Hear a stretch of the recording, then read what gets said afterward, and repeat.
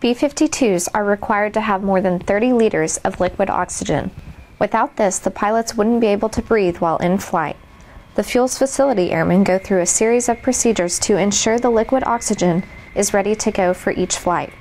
First, they start by making sure the oxygen carts don't have any leaks or broken hoses and are in good condition. Uh, we come out here and make sure these 50 gallon carts are good to go.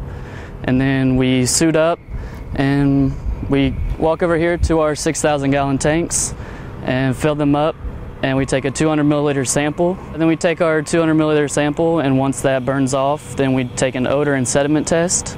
And once that passes, we write it up that we filled it in its log and then we park it out here and it's good to go.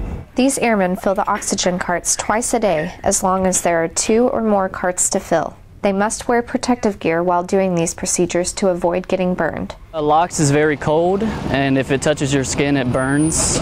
So you have to wear protective clothing. So if it was to splash on you, it wouldn't burn you. It boils at negative 297 degrees. Uh, my job's important because pilots need this oxygen to breathe on board while they're in flight, and without it, they wouldn't be able to fly. I'm Airman First Class Tory Groschick, Barksdale Air Force Base, Louisiana.